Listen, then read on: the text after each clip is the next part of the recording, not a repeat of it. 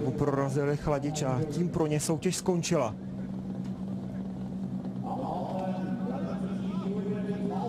No a teď už je na řadě druhé kolo. V něm se proti sobě postaví Jazid al Rajhi a Jurij Protasov. Takže stále tady sledujeme VRC2, jak už také samozřejmě zaznělo.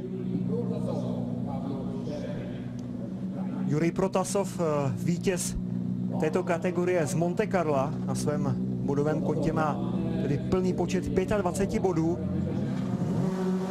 Jazid al Rajhi skončil v loňském roce v této kategorii na pátém místě.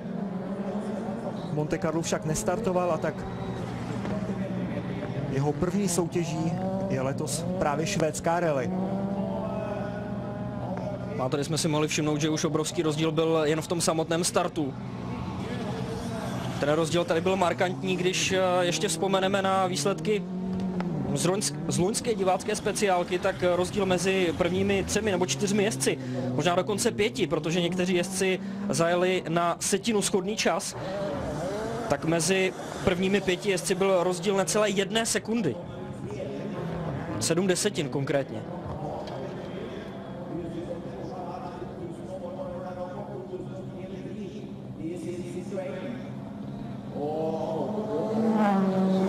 Tady to zatím vypadá těsněji než té první, v první rundě.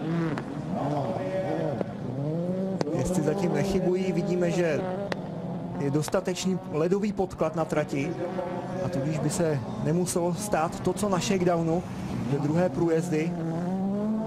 V druhých průjezdech se už míchala šotolina s tím ledovým podkladem, což bude taky, taky velký problém této soutěže. I ten sever trápí nedostatek sněhu. K tomu se však ještě vrátíme.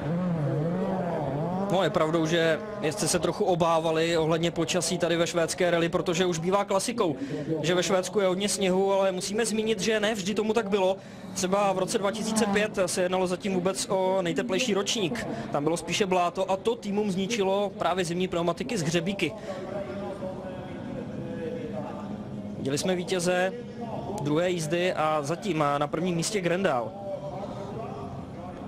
Z této jízdy byl rychlejší Protasov před Azidem al Rajhim. Grendal však svůj čas zatím obhájil.